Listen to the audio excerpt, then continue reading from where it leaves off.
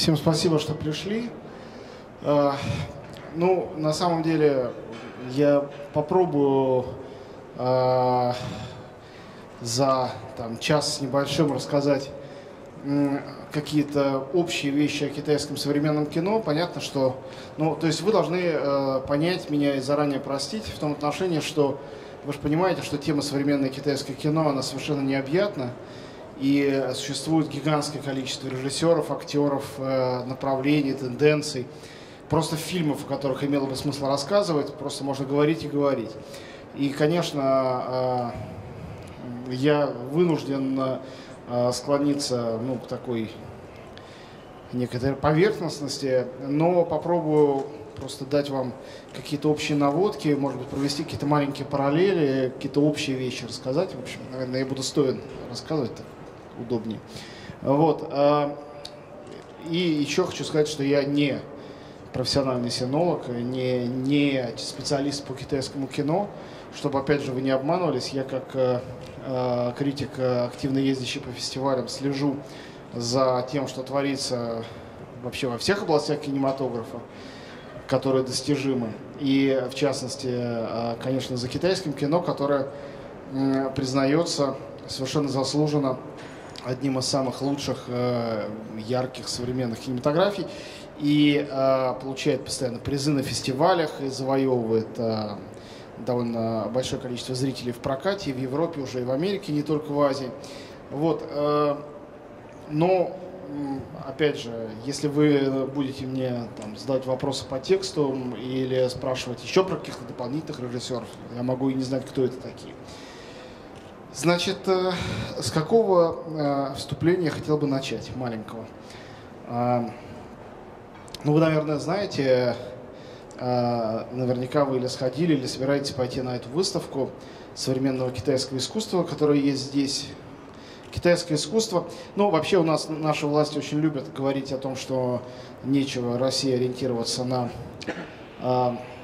вот всякую гнилую Европу и подлую Америку, а лучше ориентироваться на э, близкий нам духовный Восток, в частности на Китай. Но, э, к сожалению, это, в общем, слова э, совершенно пустые и мало чем подкрепленные. Например, в городе Нью-Йорк я чаще бывал на выставках китайского искусства современного, чем в Москве, к сожалению. У нас очень мало, редко до нас добираются какие-то представители современного китайского искусства, и если в Париже или в Берлине или в Лондоне проходили с переаншлагами огромные выставки, уже по несколько штук Ай Вейвея, то у нас до сих пор все, что было, это отдельные какие-то работы, одна или две, а, значит, э, которые вдруг оказываются на какой-то биеннале или на какой-то общей выставке, вот как сейчас. Вы, наверное, знаете, что Ай Вейвей, э, китайский современный художник, э, по последним опросам считается самой влиятельной просто персоной в мире современного искусства. Человек номер один. Причем, что очень интересно, на протяжении довольно долгих лет, когда эти опросы проводились, опросы критиков, кураторов, других художников, а, уже лет 10 э, победителем этих опросов становился так или иначе куратор. То есть человек, который делал какие-то выставки, а не художник. И Ай Вейвей это первый художник, который за долгое время смог всех э, вот настолько впечатлить, покорить и стать настолько влиятельным. А чисто китайский художник, э, который, безусловно, является, кроме того, что очень интересной авангардной фигурой, и совершенно народным художником. То есть его в Китае знают еще лучше, чем там в Англии знают Бэнкси. Он действительно человек, которого узнают на улицах и бесплатно кормят в любой лапшичной, куда он решится сесть. А, и я подумал о том, что э, вот мое первое знакомство с Вейвеем состоялось на одной из э, венецианских биеннале современного искусства, или даже, может быть, архитектуру, потому что он же еще архитектор, он проектировал э, в свои все ателье, у него несколько очень интересных зданий. И э, вообще я подумал о том, что Венеция интересное место, Венецианский фестиваль, Венецианское биеннале, э, которое Э, не думает в первую очередь о коммерческой стороне искусства, хотя китайские художники и скульпторы уже продаются тоже хорошо, а думает о, о э, том, как этот авангард современного искусства будет презентирован, э, представлен, собственно, зрителям. И это относится и к киношной части, потому что, наверное, самый авангардный, яркий э, китайский фильм последних лет «Натюрморт» Дзя Джанке был показан и награжден «Золотым львом» именно в Венеции. А, но вместе с тем э, там же на Биеннале, рядом в Арсенале, в Жардине показывают какие-то инсталляции, работы того же самого, скажем, Айвейвея. И э, я подумал об этом в очередной раз, приземлившись в Италии, в Венеции, где может быть, многие из вас знают об этом, аэропорт, их главный называется аэропорт Марко Поло. И кто читал книгу «Путешествие Марко Поло», тот помнит, что э, там есть огромное количество стран, куда этот ушлый венецианец э, доплыл, стран совершенно фантастических, которых нет на самом деле, э, с совершенно сумасшедшими какими-то э, значит, э, произведениями его вымысла, населяющими эти страны. И абсолютно наравне с этими вымышленными странами находится Китай, реальный Китай, где он был действительно при дворе у китайского императора, некоторое время там прожил и очень подробно рассказал, оставив бесценные свидетельства об этом в своей книге путешествий.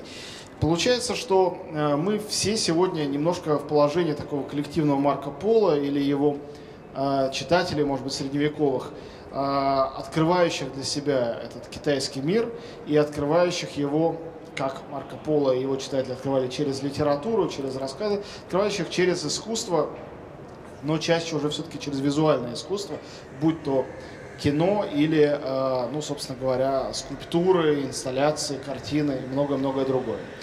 Э, значит, э, ну, кроме АВВ, наверное, можно назвать несколько имен таких ведущих китайских деятелей искусства. Наверное, вы слышали про композитора Тандуня, который лауреат огромного количества премий, первый китайский композитор, который написал оперу для постановки Метрополитен опера.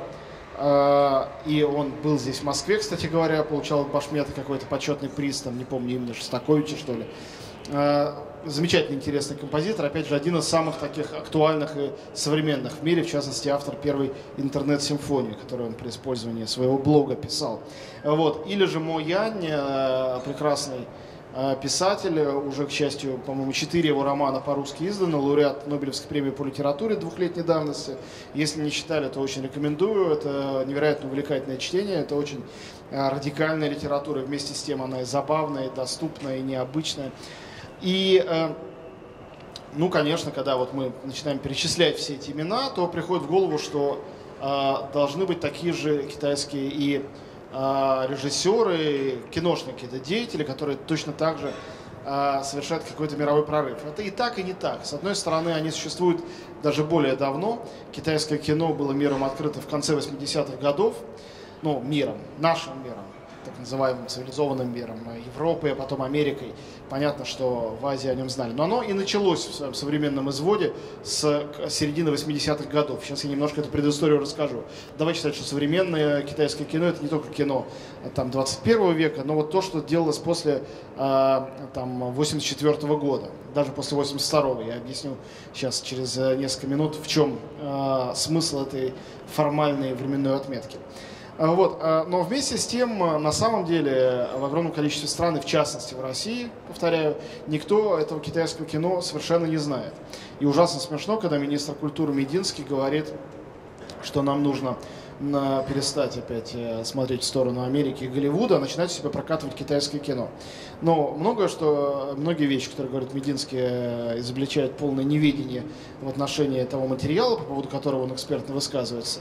Но в этой ситуации это особенно смешно. Дело в том, что огромное количество людей, прокатчиков, уже 10 лет пытаются, минимум 10 лет пытаются э, привести в Россию, показать здесь китайское кино. Это не имеет никакого совершенно успеха, это не получается.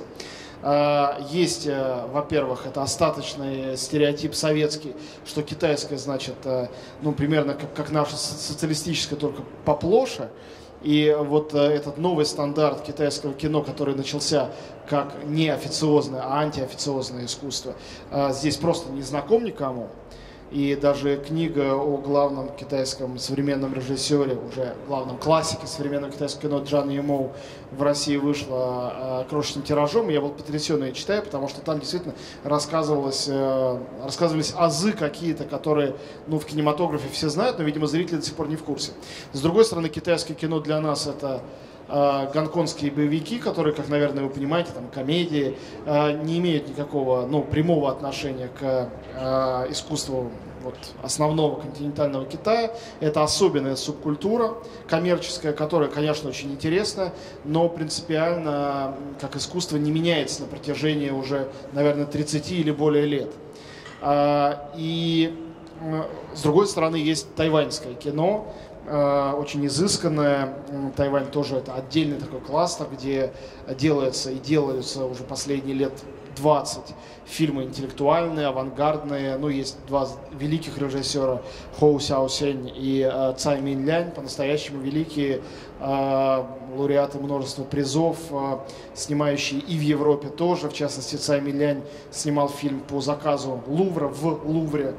Э, с участием Фани Ардан, а Жвир Бенош снимался у Хоуса Аусеня в его э, путешествие Красного Шара. То есть, ну, это такие статусные фигуры арт-кино, точно так же, как гонконгский прекрасный режиссер э, Вон Карвай, к примеру, но, скажем, китайская публика с трудом знает, что есть такие режиссеры, не смотрят их, и это ну, совершенно отдельно, это как европейское кино, скажем, для них для большинства. Ну, конечно, есть там и отдельные интеллектуальные зрители, которые это тоже знают. Э, вот, это тоже не то. Наконец, э, третье, самое обидное, неприятное, э, но реальность, она в том, что наша публика, и даже не обязательно широкая, но и публика такая, смотрящая кино не для всех, совершенно не готова вообще платить деньги, ходить в кино и смотреть э, фильмы про китайцев. Просто им не хочется смотреть на азиатские лица, запоминать азиатские имена и фамилии, названия. А, к сожалению, это результат э, ну, совершенно конкретных опросов и попыток э, на протяжении долгих лет прокатчиков выпустить даже какой-нибудь коммерческий фильм с Джеки Чаном в по-настоящему широкий прокат, скажем, сопоставимый с голливудским прокатом. Это совершенно в России невозможно. Пока что это не работает. Просто работают стереотипы, не допускающие этого. Поэтому фантазии Мединского останутся с ним на правах его фантазий. Вот, э, а мы попробуем, э, отрешившись от этих э, нереалистичных прогнозов, все-таки поговорить о том, что собой представляет современное китайское кино. Значит, ну я назвал уже имя Джана Имоу. Это очень яркая фигура, человек колоссального таланта и в то же время одиозная личность. В общем, наверное, с большим количеством поправок можно сказать, что это такой китайский Никита Михалков. А, опять же, кто-то не согласится и скажет, что а, Джан Моу значительно талантливее и вообще не интересуется конъюнктурой, что, конечно, не так, потому что он режиссер, в частности, постановщик церемонии открытия и закрытия Пекинской Олимпиады 2008 а, года. Вы сами понимаете, что просто так я бы кому такое бы не доверили. В закрытом городе он ставил Турандот Пучини, в Пекине, опять же, высшие власти дали на это добро и колоссальный бюджет. А, но начинал он, между прочим, как совершенный аутсайдер, и первые его фильмы по-прежнему смотрятся как весьма смелые высказывания, хотя, в общем, в теперешнем сравнительно демократичном Китае они уже так канонизированы и всем известны. Он, э, как каждый из режиссеров так называемого пятого поколения, жертва культурной революции, да, про пятое поколение.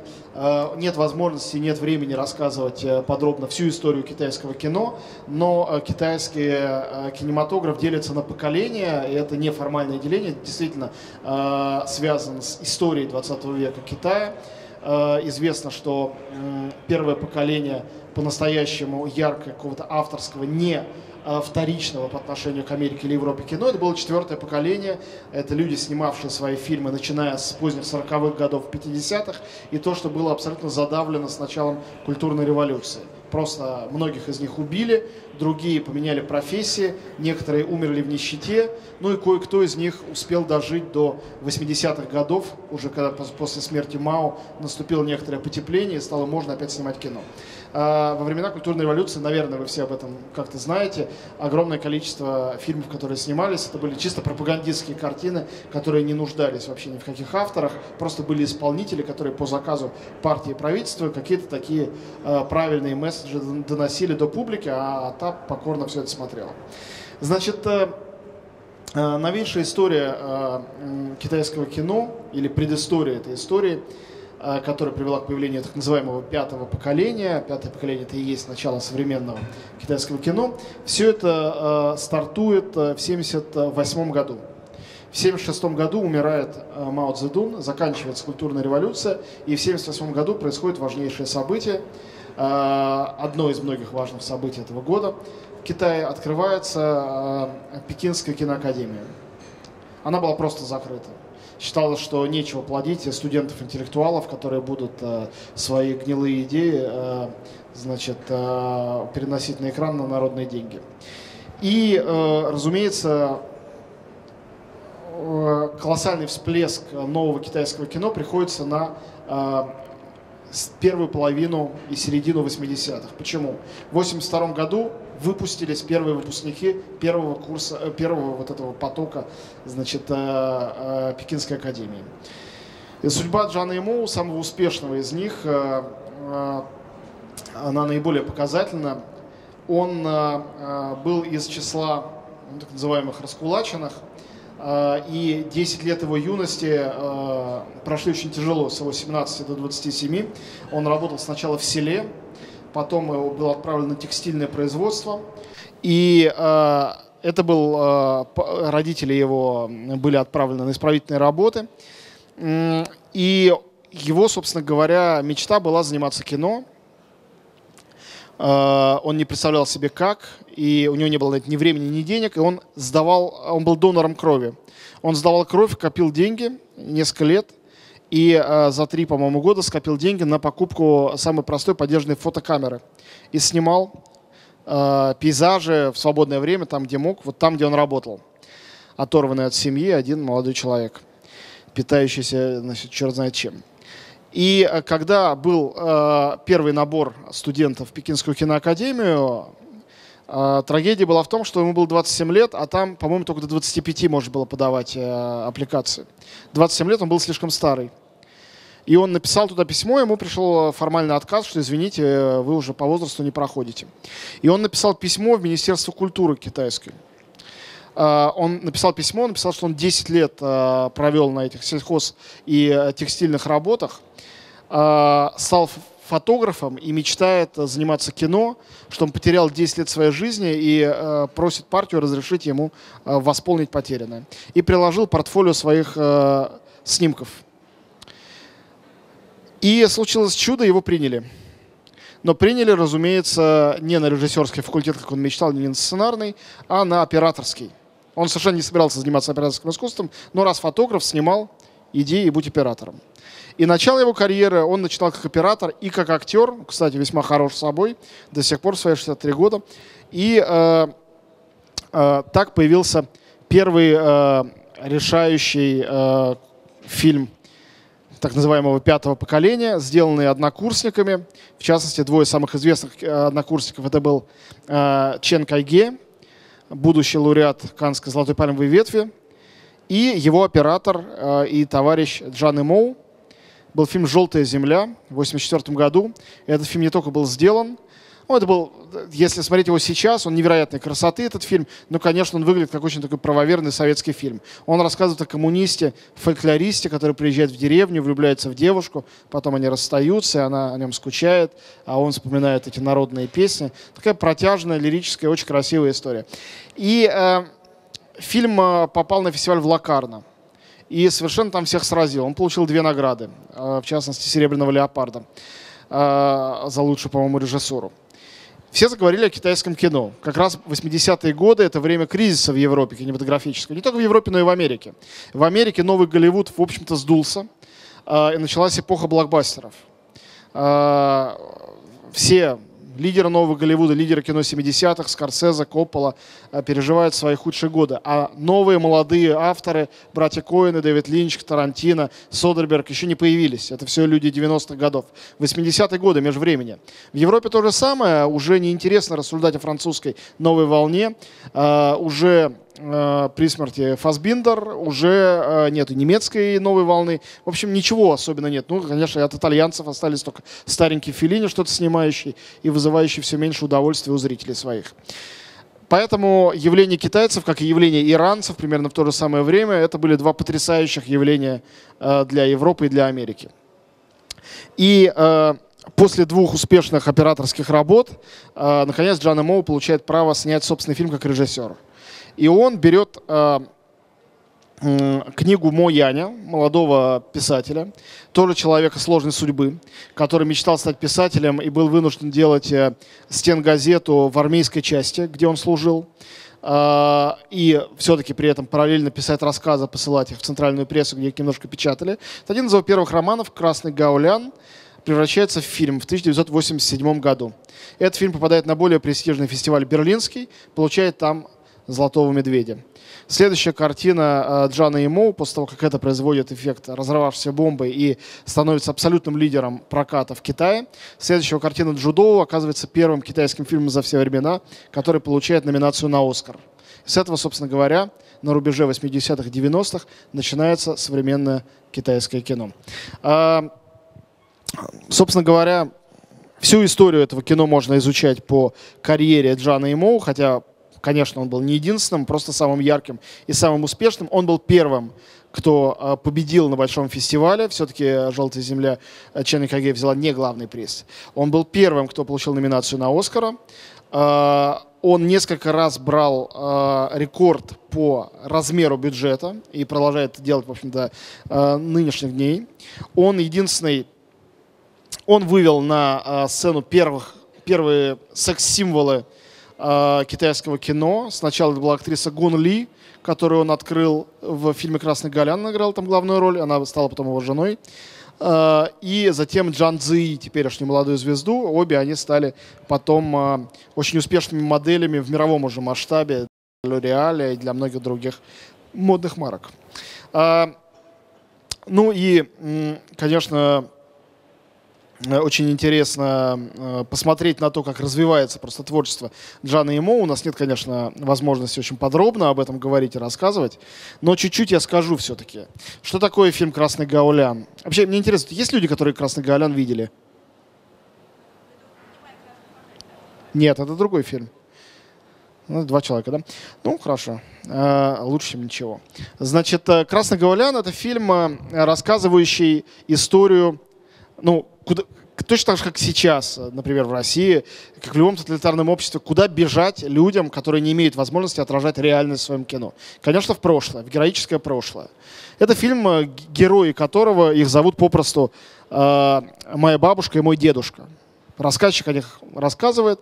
И, э, разумеется, для безопасности речь не идет о э, современном Китае, речь идет о Китае еще капиталистическом и о злых японцах, которые приходят в конце, чтобы разрушить идиллию. Главная героиня – деревенская красавица, которую отдают э, в жены богачу, живущему далеко за рекой. Богач этот прокаженный а один из насильщиков влюбляется в нее и хочет спасти ее от нелюбимого старого мужа. В этом, собственно говоря, сюжет.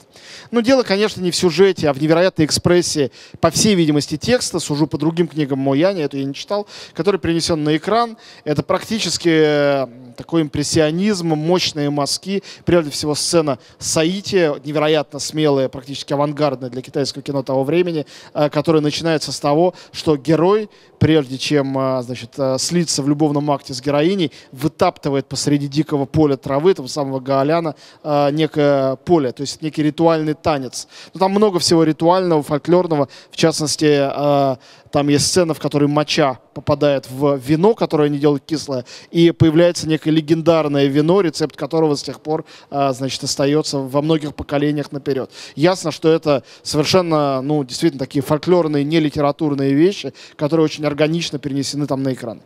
Вот. Э, ну и Дзян Вэнь, выдающийся актер, не, не меньшей степени, чем Гун Ли, они сразу стали моментально звездами после этого фильма. Э, следующий фильм, который получил, собственно, номинацию на Оскар, Дзюдоу, еще более смелый с точки зрения формальной. Это тоже похожая история. Там главная героиня становится женой красильщика и влюбляется тоже в молодого человека. То есть похожая интрига, но еще более смелое изобразительное решение, поскольку он красильщик, все это окрашено в совершенно фантастические цвета, которые заслоняют реальность э, и ее куда-то в сторону отодвигают. Наверное, не будь это настолько свежо, это можно было бы назвать даже каким-то кичем, но для, Евро, для Европы с ее умеренностью в кинематографе это казалось совершенно, э, совершенно взрывом. Ну и было. И э, следующий фильм, который получает главный приз уже в Венеции, один из немногих режиссеров, получавший дважды «Золотого льва» в Венеции, это Джан Моу. Это фильм э, «Цидзю идет в суд». И это картина, которая как раз имела проблемы с цензурой. Она совершенно фантастическая. И если вы ее не видели, а кто-нибудь эту, эту картину кто-нибудь смотрел, хоть один человек? Ну вот, э, все посмотрите обязательно. Это упоительное зрелище. Э, прекраснейшая Гун Ли играет в этом фильме э, такую страшную, закутанную в тулуп и в платок крестьянку, беременную, кроме того. Э, а сюжет в том, что председатель колхоза повздорил с ее мужем и, значит, ударил его коленом между ног. И все там ему отбил. И она страшно оскорблена, потому что муж хорошо работает, у них много детей. И какого черта? А, и она хочет, чтобы, значит, председатель извинился перед ней, а тот извиняться не хочет. Не желает извиняться, потому что э, он считает, что он был в своем праве. И весь сюжет в том, как она ходит по инстанциям, пытаясь э, э, найти того начальника, который заставит председателя колхоза извиниться. В, вот фильм об этом. А, вот. И там совершенно потрясающий финал, но я его не буду пересказывать. Надеюсь, что вы все-таки посмотрите картину. Он неожиданный, парадоксальный и, с одной стороны, очень жесткий, с другой стороны, примиренческий, с третьей стороны, ужасно смешной. Ясно, что это уже метафора э, того, как существует, как живет китайский народ, как и следующий по-настоящему яркий фильм Джана Эмоу «Жить», который получил гран-при в Каннах. Э, и это картина, рассказывающая о судьбе кукольника, э, который проходит через всю историю китайского 20 века э, от э, э, значит, существования в качестве батрака у некоего значит, богача до бродячего бездомного человека в период уже военный, поствоенный, коммунистический. Э, тоже совершенно потрясающая, душераздирающая картина. Ну, такая большая, настоящая сага, не уступающая самым масштабным сагам американского кино, снимавшимся до того, скажем, в 80-х годах. Э, уже позже, ну, неизбежно это произошло, э, Джан Моу которого признали уже в Китае после всех его призов, было просто глупо этого не сделать. Он получил беспрецедентно огромные деньги, стал снимать фильмы э, чисто развлекательные, хотя делал это средствами отнюдь не примитивными. Здесь классический пример фильм 2002 года «Герой». Действительно гениальная картина, рассказывающая о герой, наверное, все-таки больше народу видела. А, фильм, рассказывающий о создателе Объединенного Китая, императоре, а, значит, а, построившем Великую Китайскую стену, и о киллере, которого прислали, чтобы его убить. Диалог между ними а, рассказан от лица нескольких персонажей по принципу Курасавовского Расимона. И истина постепенно, медленно складывается, значит, из некоего ну, лоскутного одеяла, одеяла разных версий. А, за этот фильм очень много обвиняли Джана Ему. Во-первых, обвиняли в том, что он сделал что-то на потребу а, широкой публики. Фильм побил все рекорды популярности. И, во-вторых, обвиняли а, за то, что, значит, за, за то, что э, фильм, по сути дела, прославляет э, э, тираническую власть вместо того, чтобы как-то ее разоблачать. Ну и действительно, картину можно прочесть именно так. За ней последовали «Дом летающих кинжалов», э, «Проклятие золотого цветка», фильмы совершенно коммерческие, костюмные, высокобюджетные. Ну и, в общем, э, это примерно та же эволюция, которую мы могли наблюдать в случае других ярких представителей таких национальных кинематографий, того же Никиты Михалкова или, скажем, сербского героя Эмира Кустурицы. То же самое когда уходит вот этот молодой драйв э, сопротивления и остается некое представительство за весь большой народ. Несколько слов о менее знаменитых, менее ярких, но тоже замечательно талантливых э, других режиссерах пятого поколения. Прежде всего, это Чень Кайге, я уже сказал о нем. У него, кстати, судьба совершенно другая, чем у э, Джана Имоу. Он, в отличие от Чжана Имоу, не был врагом народа и сыном врагов народа. Он, наоборот, был юным хунвейбином и очень Э, рьяно боролся с э, развращенной молодежью э, в 70-х годах. Потом поступил тоже в э, Пекинскую э, киноакадемию, подружился с Чжаном Имоу, и он был именно тем самым китайским режиссером, который первый получил э, в Каннах «Золотую пальмовую ветвь». Это был 93 год, фильм «Прощай, моя наложница». Легендарная картина, э, которая, тоже с Гон Ли в главной роли, которая рассказывала о э, о судьбе актеров Пекинской оперы. И это, с одной стороны, глубоко традиционное, восходящее к древнейшим китайским временам искусство. С другой стороны, оно там входило в трагический по сюжету конфликт с событиями 20 века но оставалась неким э, стабильным что ли, островом а, все-таки высокого искусства, мастерства в ужасах большой истории. И а, этот месседж был понятен а, не в меньшей степени, чем месседж, не знаю, каких-нибудь там больших фильмов в Висконте, Европе, и поэтому, я думаю, фильм был награжден. Ну, конечно, это замечательно талантливая, неординарная картина, в частности, совершенно удивительной китайской музыкой. Но если посмотреть на то, что потом происходило с э, Ченом Кайге, Э, совершенно то же самое, приход в мейнстрим. В частности, Кайги э, снял картину на ту же тему, на которую потом был снят «Герой», за пять лет до «Героя», «Император и убийца», э, и это уже такой фильм большого стиля. Ну, а потом он снимал даже и э, за границей, и у него есть англоязычный фильм с Джозефом Файнсом и Хизер Грэм «Убей меня нежно», эротический триллер, необычный жанр и не очень удачно у него получившийся для китайского режиссера, но э, просто характерно и любопытно, что китайцу такое доверили снимать, что он за это взялся. И э, последняя яркая его картина «Мэй Лайфань» 2008 года. Мэй Лайфань тоже знаменитый певец э, пекинской оперы. Это картина, ну, которая просто является соб собой такой типовой, э, хороший советский байопик. История жизни э, народного артиста в всяких перипетиях его окружающих. Скорее величественная и такая официозная, нежели по-настоящему драматичная. Но сделана по-прежнему блестяще.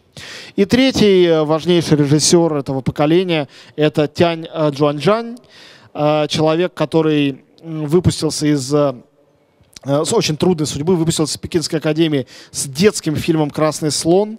Фильм имел огромный успех, э, собрал очень много зрителей. И за счет того, что он был детский, не был никак цензурирован. Но когда он 10 лет спустя сделал картину «Синий бумажный змей», где прямо рассказывал о жестоких событиях культурной революции, кончилось тем, что Тянь получил на 10 лет запрет на профессию и вернулся только со стилизацией такой замечательной, нежнейшей картиной. Все, кто любит хорошее кино про любовь, я вам рекомендую, это даже лучше, чем «Весна на Заречной улице». Называется фильм «Весна в маленьком городе».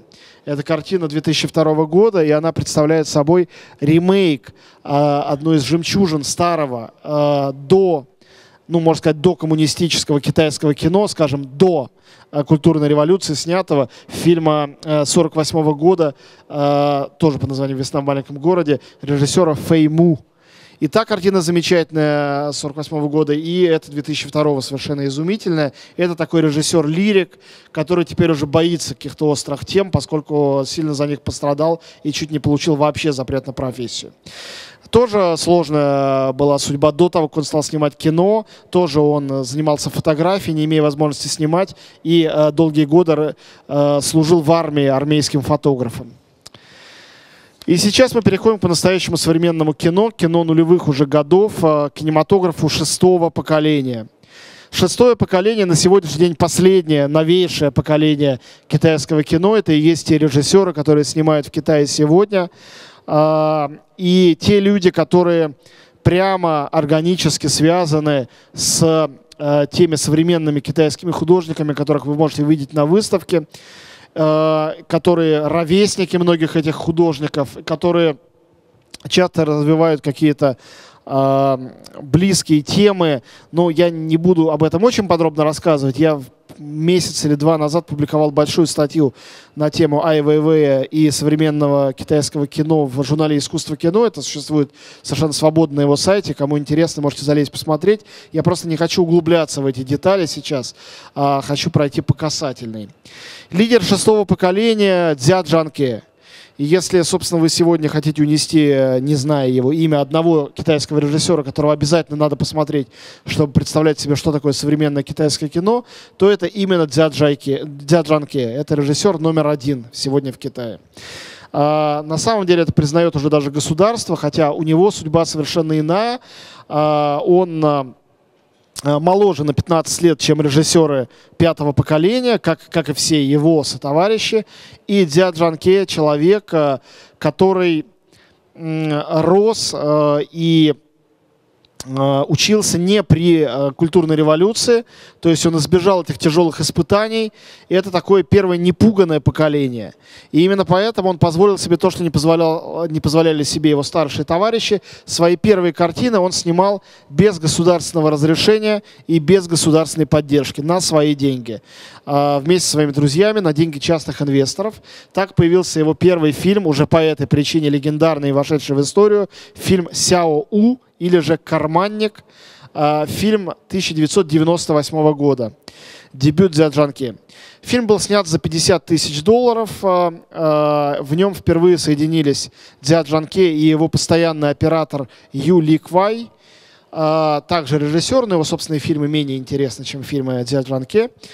И э, этот фильм посмотрел и заметил его, и он ему понравился. Это важнейший момент.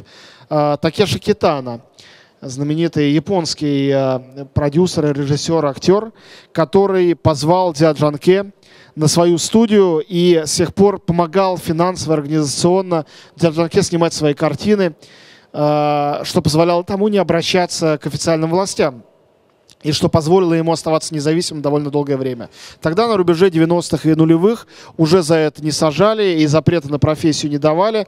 Э, и Дзяджанке снял свои первые три фильма э, действительно сам на свои деньги, при этом не э, жертвуя, не я ни на какие компромиссы, не жертвуя целостностью художественного взгляда. И больше того, его э, художественный подход формировался именно за счет того, что ему э, не хватало денег, и он придумывал, как и о чем снимать кино.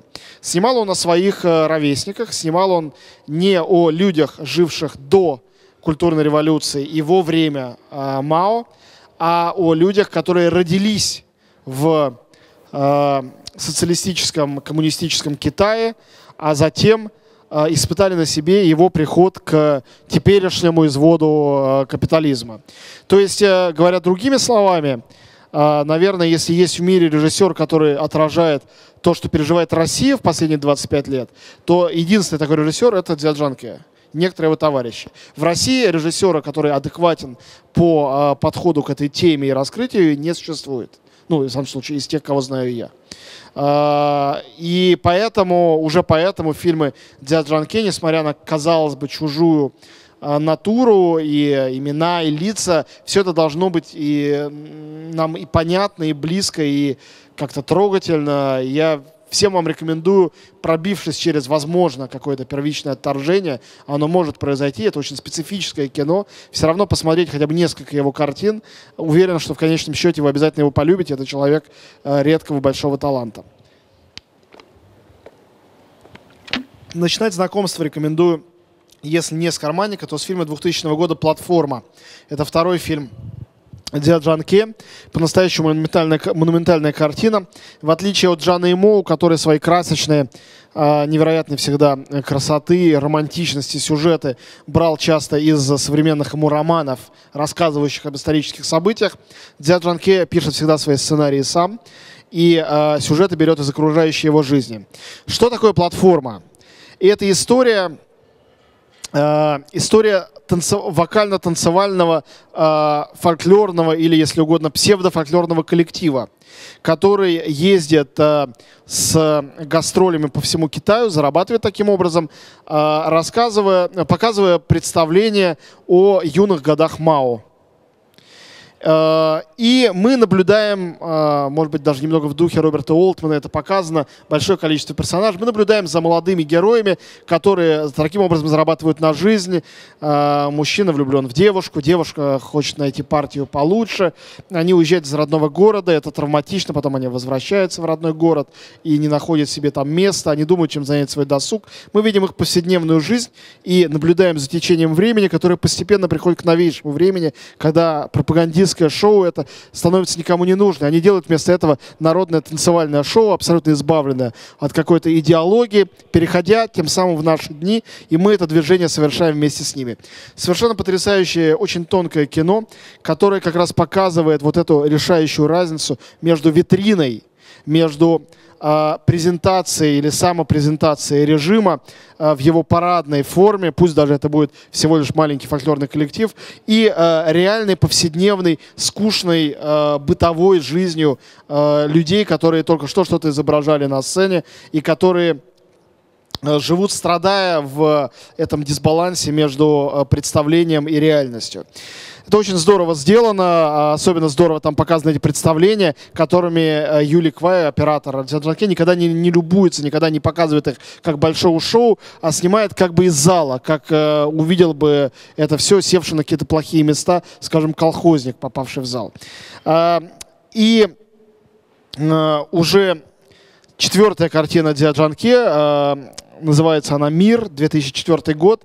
Это первая картина, на которую, в общем, сдавшись перед его успехами, дает деньги китайское правительство. А, при этом фильм совершенно безнадежный, с трагичнейшим концом. Это тоже история любви. А, и тоже необычная. Это история провинциалов в Пекине. Но это не просто провинциалы в Пекине, там все интереснее. Мир, the world, это не название мира как такового, это название а, реально существующего парка развлечений в Китае. Как вы знаете, китайцы сейчас много путешествуют, но еще 10 лет назад это было не совсем так. И до сих пор сельский Китай, он колоссальный, и они не имеют представления никакого о том, как выглядит мир. И вот собственно говоря, это парк, в котором существует Биг uh, Бен, uh, Empire State Building, Эйфелева башня, ну, примерно как в Лас-Вегасе, и где вагончик ездит от одного макета до другого, и китайцы все это наблюдают. А герои, собственно, этой картины, это ряженая девушка ряженая и молодой человек-охранник, которые работают в этом парке. Они его сотрудники. И мы видим совершенно то же самое. Дисбаланс между витриной, между презентацией Китая и Пекина как части большого мира и невероятной провинциальностью этих несчастных маленьких людей, совсем не героических, которые э, не имеют времени и возможности, и куража даже для того, чтобы просто встречаться после работы.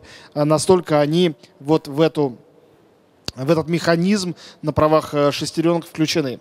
Но в этом нету никакого э, такого деланного трагизма, э, которого очень много в работах режиссеров пятого поколения. Наоборот, э, это показано очень мягко, бессобытийно, э, через э, почти документальное наблюдение за их жизнью.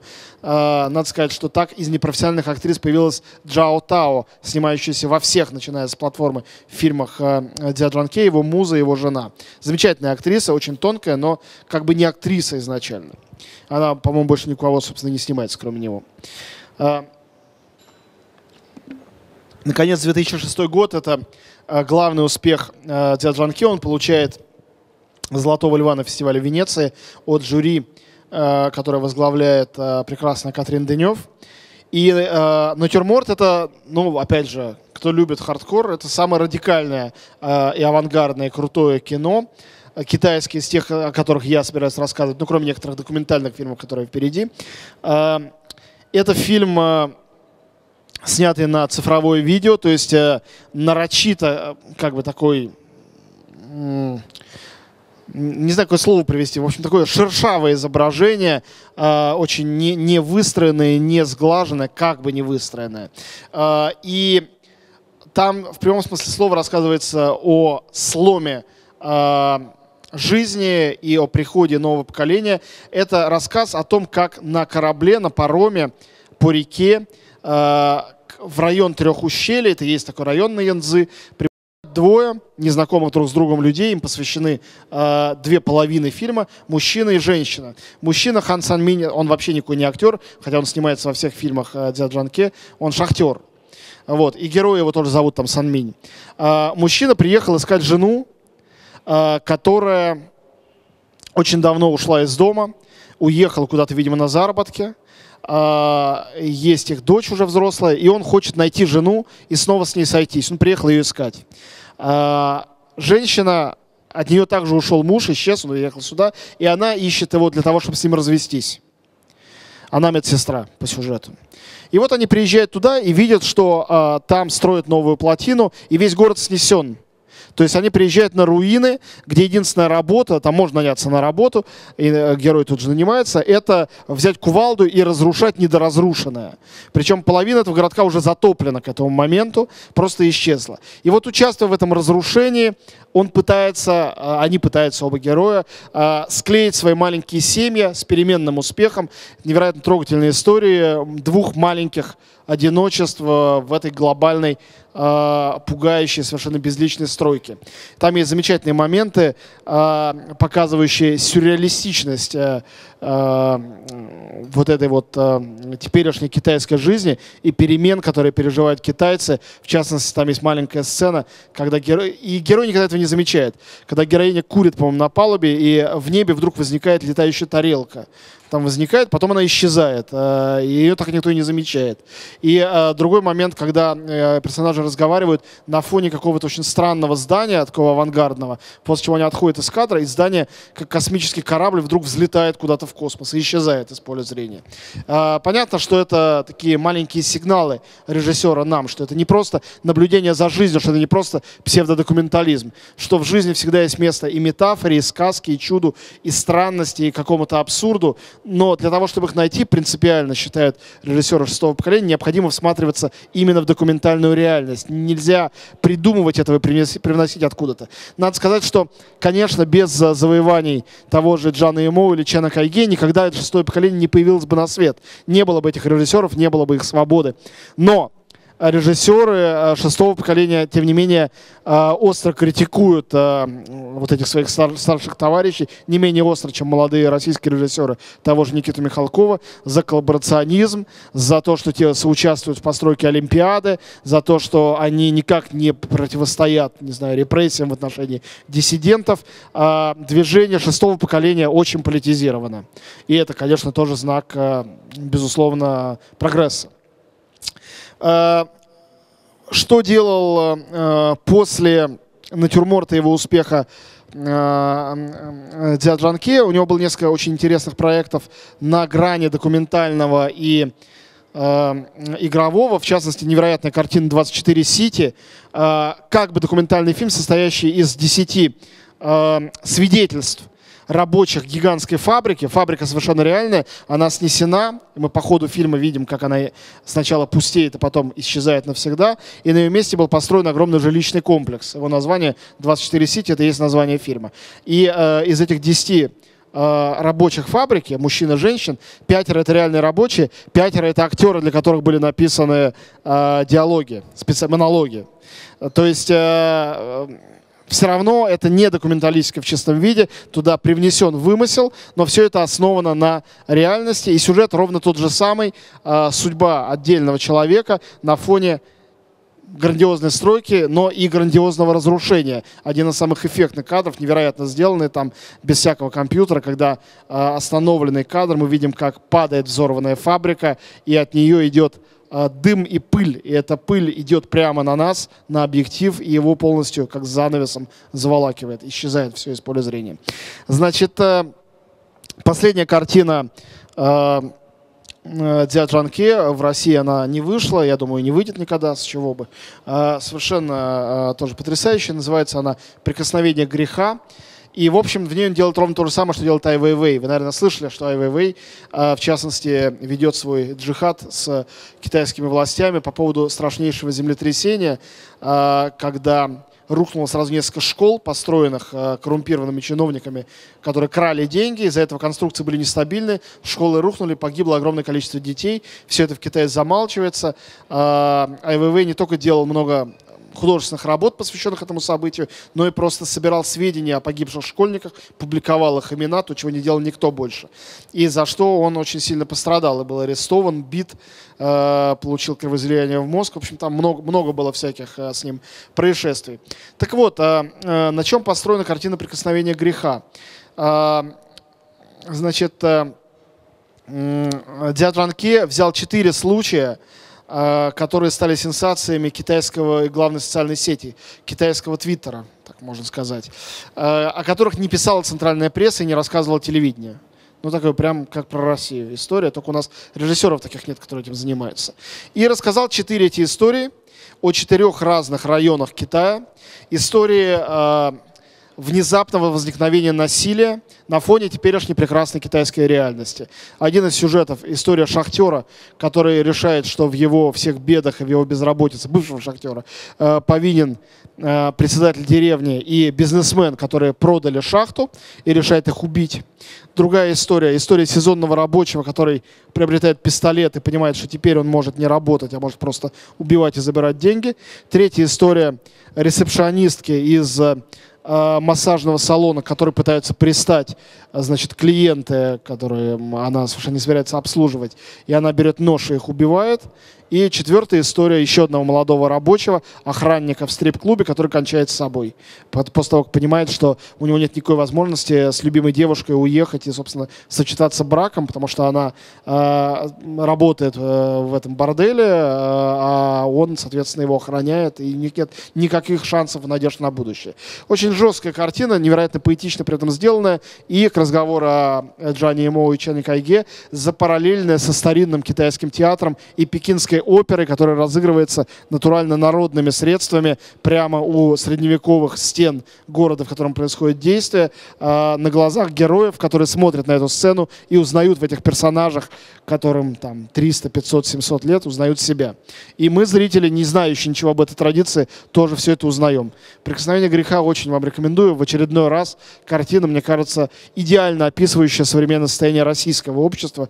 Думаю, не хуже, чем китайского. Как раз за китайское не могу сказать, потому что я хуже его знаю. Но про российское совершенно точно. Все Кущевки, огромное количество всего, что происходит у нас, совершенно нашим кинематографом незамеченное и не отраженное. Дядя Джанке показывает это прекрасно. Несколько других э, имен э, важнейших современных э, китайских режиссеров шестого поколения. Хотя точно так же, как Джан Эмо был лидером пятого поколения, Дзя Джанке такой же общепризнанный лидер шестого поколения. Ван Сяошуай лауреат «Серебряного медведя» 2001 года. И это такой современный китайский неореалист. И, собственно говоря, главный его фильм 2001 года, с которым получил «Серебряного медведя» в Берлине, называется «Пекинские велосипеды». Э, и это явная отсылка, конечно, к похитителям велосипедов Виторио де Сика. И э, в то же время э, к этой китайской велосипедной тематике. Велосипед, как известно, главное средство передвижения в Китае.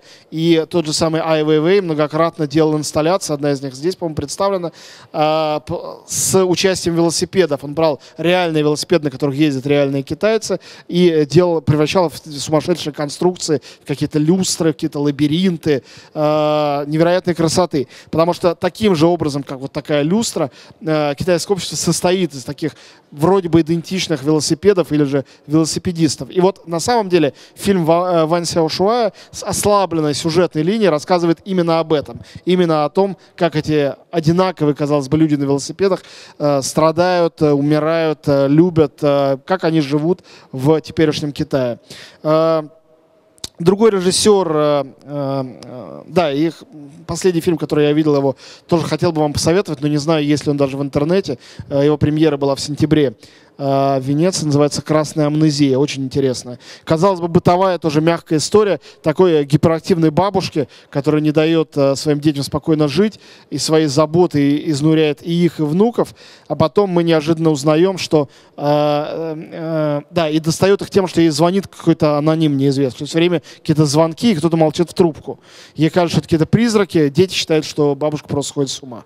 Потом выясняется, что на самом деле это все не просто так, примерно как в фильме «Ханеки скрыты», это больная совесть. Бабушка, оказывается, была во времена культурной революции доносчатой, о чем сейчас, разумеется, никто не помнит, она просто милая старушка, но это прошлое встает э, очень беспокойным образом и нарушает полностью настоящее. Любопытно, что одновременно с этим э, свою уже такую совершенно декоративную, с участием той же самой суперзвездной Гун Ли, картину на аналогичную тему снял Джан Эмоу. Фильм называется «Возвращение», тоже 2014 года. Э, фильм о дочери доносчицы, которая разрушает э, э, семью своих родителей, отца сажают, отправляют в лагерь, потому что ей хочется делать карьеру в балете. Она боится, что карьеры не будет, если она не донесет на отца. Еще один важный режиссер э, Джан Юань. У него несколько замечательных картин, но я вам хочу одну порекомендовать 2006 года. «Маленькие красные цветы» называется, «Красные цветочки». Э, эта картина, все действие, которое происходит в детском саду. Система подавления э, китайского общества там показана на примере примерно четырех или пятилетнего, я думаю, что четырехлетнего мальчика-диссидента мальчик-диссидент, который не хочет э, садиться на горшок одновременно со всеми, э, которым не нравится есть ту еду, которой кормят детей и так далее. Там гениально играют дети, вообще не знаю, каким образом э, это вообще сделано режиссерски, это высший уровень режиссуры. Э, и, э, в общем, это, ну, как бы милое детское кино о непослушном мальчике, который, конечно, выглядит э, совершенно блистательной метафорой э, общества подавления и общества единого стандарта, э, в котором э, индивидуальности невероятно трудно трудно существовать вообще и дышать. При этом кино сделано с изумительным юмором, не хочу даже вам рассказывать. Надеюсь, что вы увидите просто это сами когда-нибудь. Еще один важный режиссер, режиссер-диссидент Лоу Е. А, Лоу Е, постоянный участник Каннского фестиваля. И, а, на мой взгляд, человек не талантливый, но очень популярный. Режиссер, который впервые в шестом поколении, впервые вообще в китайском кино, принес туда эротику. Его фильм «Летний дворец» а, ну, он там решил до кучи всего туда добавить. С одной стороны, это фильм о э, бунтах э, на площади Тяньаньмень, тех бунтах, э, которыми, как считается, закончилось кино пятого поколения и после которых родилось кино шестого поколения. Вот. Э, и в то же время там есть эротические сцены, весьма невинные по европейским меркам, но для Китая невероятно откровенные. И дальше он пошел еще дальше, э, снял фильм «Весенняя лихорадка». Это картина 2009 э, года. Фильм получил приз за сценарий в Каннах, и это первый э, китайский фильм э, о гей-отношениях, о расследовании гей-скандала, о влюбленности и ревности, там, любовный треугольник из трех мужчин, следователи двое влюбленных. Вот, э, на, на мой взгляд, совершенно спекулятивное кино, но э, имевшее очень большой успех в Европе и, разумеется, произведшее невероятный скандал в Китае. Как я сказал, уже сейчас там запретов на профессию нету, но режиссер на долгое время уехал жить во Францию, по-моему, нашел там свое счастье, и продюсеров, и друзей. Э, ну, в общем, несмотря на это, он продолжает снимать с китайским участием тоже фильмы, и пока что никто его за это не казнил. Значит, э, наконец, последний на сегодняшний день победитель фестивальный – это Дяо Иньянь, тоже Э, очень интересный и талантливый человек, э, победитель последнего берлинского фестиваля ровно годовалой давности. Я думаю, его фильм уже существует как минимум в интернете. Последний, это третий его фильм, впрочем, все три можно посмотреть. А последний фильм называется э, «Черный уголь, тонкий лед». И это такой китайский основной инстинкт. Там тоже есть эротические сцены, менее откровенные, чем у Лоу Е, но э, придуманные очень здорово. Значит, э, что это такое вообще? Новый китайский нуар, совершенно необычный для Китая на самом деле жанр. Это, э, значит, э, история, история полицейского, которого разжаловали следователя. Он не смог расследовать серию очень странных убийств. Находили в угле расчлененные тела. И он встречается с вдовой одной из жертв много лет спустя. Она такая фам-фаталь, роковая женщина. А, значит, чтобы он с ней сходится и пытается выяснить, что же там было на самом деле. А, Все это совершенно прекрасно, но разворачивается эта история, невероятно стильно снятая в условиях э, теперешнего совершенно пролетарского Китая. В частности, фам фаталь там является приемщицы в химчистке. А главный герой начинается с того, что у него отнимают его а, мотоцикл, вместо этого дают а, велосипед такой жалкий, он на нем пытается ездить, по снегу в том числе. А главная а, сцена любви, а потом убийства происходит в районе муниципального катка. Собственно, орудием убийства там становятся а, коньки. Вот, э, это очень здорово сделано, говорю, не хуже, чем у Верхувена. Э, и женщина невероятной красоты. Мне же, в частности, запомнилось э, финал этого фильма. Я не рассказываю вам, чем, чем сюжет заканчивается, да, но чисто изобразительно. А, я говорю, рассказывал вам уже несколько раз о том, как китайское современное кино, отражая теперешнюю реальность, обязательно апеллирует к каким-то достижениям а, китайской культуры, традиционному китайскому театру, китайской опере, к мифологии. Да, фильм «Прикосновение греха» — это еще и китайский календарь. Там, в частности, всякие животные участвуют. Э, лошадь, корова, змея. Вот. Э, так вот, в этом фильме это фейерверки. Порох, э, фейерверки. Тоже слава китайского народа. Китайское название фильма «Черный уголь, тонкий лед» — «Фейерверки днем». То есть днем, когда их не видно, когда не видны их цвета, а видны только, э, собственно говоря, взрывы в небе. И вот этот бессмысленный акт, который должен был бы быть радостным, но в результате он выглядит как некая скорбная акция протеста, акция абсурдная, э, ей завершается фильм. Я сразу вспомнил об еще одном замечательном художнике, я не знаю, представлена ли его работа здесь на выставке, э, Цай, Цай Гоцян его зовут, совершенно замечательно талантливый, который создает свои картины при помощи пороха, взрывая и поджигая его картины, инсталляции. Э, ну, это не единственное, чем он занимается, но в частности это у него получается очень здорово. И еще раз говорит о родстве современного китайского кино с современным китайским искусством.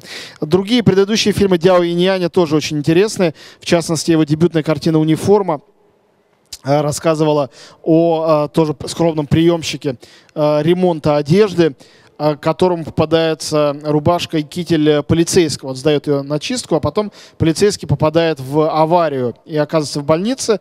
И герой, попав под дождь в подземном переходе, он весь промок, надевает на себя вот эту возвращенную клиентам рубашку с кителем и как бы превращается в полицейского, причем в ГИБДДшника, он дорожный полицейский.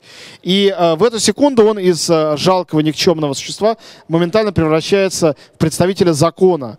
И он может легко добыть деньги, он может остановить э, машину на улице, шантажировать водителя, даже если не было никакого нарушения, тот ему испуганно дает все свои наличные. Его жизнь меняется. А вот. Ужасно интересная картина, тоже совершенно необычная. Как и следующий фильм, второй фильм Дяо Иньяня «Ночной поезд». Это картина 2007, да, 2007 года. Фильм рассказывающий о женщине, о, о женщине-прокуроре, которая выносит смертные приговоры и при этом совершенно одинок и пытается найти любовь на ночном поезде, уезжая в другой город, где ее никто не знает и никто не знает, кто она такая. Но видите, в наличии все то же самое. Использование жанра, в данном случае криминального жанра, триллера, для разговора о том же самом, о э, маленьком, слабом, но бунте личности против э, унифицирующей системы, э, которая не является в прямом смысле слова репрессивной, но является губительной для э, любой шестеренки вот этого огромного э, действующего вроде бы бесперебойно аппарата нового теперешнего Китая. Э, и Напоследок я вам расскажу об еще одном э, совершенно гениальном режиссере, который, конечно, снимает только для людей, э, ну, готовых увидеть в кино не развлечение, а нечто иное, нечто большее. Это Вань Бинь. Э, тоже один из лидеров шестого поколения, но он не может быть безусловным лидером, потому что его творчество слишком непопулярное, слишком специфично. Он документалист. У него, правда, есть одна игровая картина – фильм 2008, нет, 10, 2010 года «Канава». Канава, кино, которое тоже можно сравнить с работами Айвейвея. Он тоже вытаскивает наружу те вещи, которые скрыты, о которых нельзя говорить. Это фильм, который говорит о китайском, можно сказать, ГУЛАГе. О лагерях, куда отправляли интеллигенцию э, во время культурной революции э, в пустыне лагерях, где они э, погибали. В основном от голода, потому что там э, их практически не кормили. В фильме огромное количество тошнотворных сцен, когда они пытаются искать какие-то личинки их варить, все без большого успеха. А, когда их отправляют на исправительные работы, э, буквально перекладывать песок из одной горы в другую. А, то есть априори бессмысленные. И эта картина а, тоже построена по принципу китайского старинного театра. В середине там есть такая очень важная формула китайского театра, а именно плач. Один из героев все время там бессмысленно говорит о том, что он должен дождаться своей жены, которая к нему приедет. Но это слышится как в общем, бред умирающего, и он таки умирает, его хоронят в братской могиле, после чего приезжает жена действительно и не может его найти, потому что никто не может указать толком, где могила. И ее плач становится таким э, центром фильма, совершенно невыносимым, как невыносима тема, собственно говоря, этой картины. Э, при этом потрясающе снятый, но нигде ни в какие э, орнаментальные красивости не ударяющиеся. Вот. Э, собственно говоря, других попыток снять игровое кино он не делал, но можно найти его изумительные документальные картины, в частности, его шедевр 2003 года «К западу от железной дороги». Фильм длится 10 часов. А, и а, показывает жизнь постиндустриального Китая, жизнь а, того района, где функционировали все крупнейшие китайские фабрики и заводы, на сегодняшний день выведенные из строя, не работающие. Это пустынные фабрики, иногда они все еще функционируют, но там есть 3-5 рабочих, иногда они просто заброшены, иногда мы видим деревни, где живут эти бывшие рабочие. То есть это вот постиндустриальное общество, и я уверен, что если бы кому-нибудь хватило бы сил и смелости в в России можно было бы снять э, не менее яркую картину, точно на ту же самую тему, опять же, о заброшенном производстве, о смерти индустриальной пролетарской утопии, которая не состоялась. А, картина, которая... Там очень интересные диалоги, потрясающие сцены, там встреча Нового года, например, этими рабочими. Но на самом деле можно смотреть без, без перевода, настолько э, невероятно выглядит как самоценная инсталляция, вот эта вот разрушенная когда-то действовавшая утопия, сейчас превращенная в такой практически марсианский пейзаж, полуложившихся зданий и э, исчезнувшей природе, и последней, э, собственно говоря, железнодорожной ветки, по которой ходят последние связывающих друг с другом поезд. Никак иначе там от одного населенного пункта до другого не добраться. Э, не менее крутой фильм 2007 года «Фильмин. Китайский мемуар», это, в общем-то, практически то же самое, что подстрочник Лианы Лунгиной, только подстрочник у нас появился позже. Эта картина трехчасовой рассказ, признание женщины, которая была активисткой э, культурной революции, как ее муж, и потом, как он, попала в лагерь, и она просто три часа на камеру рассказывает о том, как с ней это было. Ничего больше в фильме нет. А зрелище это невероятно, оторваться от него совершенно невозможно, оно душераздирающее. Ну и, э, конечно, Вань Бинь в своих документальных фильмах эссе, фильмах наблюдениях в последние годы а, больше, чем любой другой китайский режиссер, занимается а, поиском тех ущемленных групп. По сути дела, это кинематографическое правозащитное движение. У него есть фильм «Человек без имени», в котором он показывает повседневную жизнь бомжа. А, бездомного, как он пытается какой-то маленький огородик устроить, э, как он проживает 4 времени года, как он собирает э, какой-то навоз, чтобы потом его продать и купить какие-то примитивные необходимые вещи, как он ютится в пещере. И действительно, он персонаж, человек без имени. Мы не, ничего о нем больше, кроме того, что он делает, не узнаем. Или фильм «Три сестры», никакого отношения к Чехову не имеющий, рассказывающий о трех детях, отец которых, мать умерла, отец уехал на заработки, как трое детей, три девочки живут э, одни в деревне, в большой взрослой деревне, э, как им кто-то помогает, они зарабатывают э, э, какой-то маленькой работой себе на э, хлеб и ждут своего папу. И последний фильм его по времени, пока э, безумие, пока безумие не разлучит нас, картина, получившая главный приз в документальном конкурсе Венецианского тоже фестиваля. Фильм, рассказывающий о э, таком заведении исправительном, которое одновременно и тюрьма для э, некоторых преступников, и э, психиатрическая лечебница. Два в одном. О его обитателях, которые совершенно для нас, зрителей, герметичны. Мы не узнаем, что они сделали, за что они там, но мы наблюдаем три часа за их жизнью. В этом тоже зрелище достаточно жесткое, но э, очень э, увлекательное.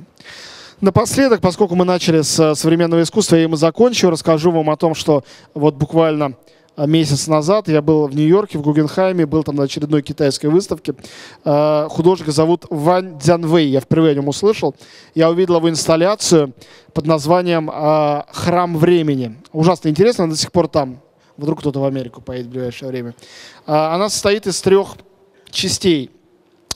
Там есть, во-первых, Э, картина, картина, где некое огромное заседание людей э, в пиджаках, сидящих, обсуждающих что-то важное. Мы не понимаем, партийные функционеры это или бизнесмены, неважно. Это люди без лиц, без индивидуальностей, которые решают чью-то судьбу, и они немножко увеличенного такого масштаба по сравнению с нами, зрителями, и кажется, что это практически небожители. Рядом с этим, ну и называется храм времени соответствующий. Рядом с этим пресловутый храм, странная деревянная конструкция, но я думаю, что если даже вы не поедете в Нью-Йорк на выставку, вы можете найти ее просто в интернете изображение, принцип которой э, неправильно геометрический, э, принцип который в том, что вы не можете ни с одной точки увидеть целиком. Ее форму невозможно, нету ракурса, с которого вы можете полностью увидеть эту форму. Э, с любого ракурса вы видите только ее часть, и эта часть всегда искаженная, всегда иллюзорная, всегда многое скрыто от вас. И это очень простая метафора, очень эффективно работающая, показывающая, что время — это то, в чем мы живем всегда субъективно, и э, история, соответственно, тоже. Наконец, третья часть инсталляции — это фильм, снятый этим э, художником, э, видеофильм, являющий собой экранизацию, современную китайскую экранизацию «Превращение Кавки». Фильм, длится час. И, конечно, э, Э, это тоже весьма говорящий момент, показывающий нам клерка, маленького человека, который превращается, ну, в этой ситуации не в таракана, а в гигантскую саламандру. Все остальное там практически по тексту. И в этом фильме мы понимаем, насколько болезненны и страшны для любого рядового члена китайского общества, не только китайского, те трансформации, которые, возможно, и ведут кого-то к светлому будущему, но для него являются исключительно э, путем в какое-то иное, неизведанное и, возможно, несущее смерть и разрушение состояние. Все, друзья, на этом я останавливаюсь. Если у вас есть какие-то ко мне вопросы, буду рад попробовать на них ответить. И если нет, то